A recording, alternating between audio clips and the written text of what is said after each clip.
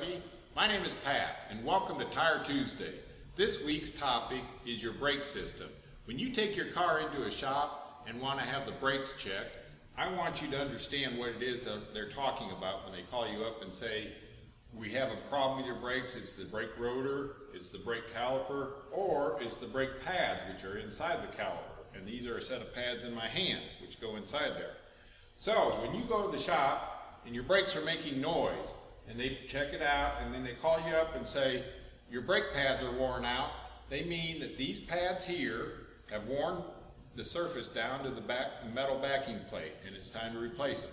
This uh, surface here is a little bit softer than the metal on the back of the backing plate that they're attached to, and so these pads wear, and eventually they wear down to that backing plate and they have to be replaced.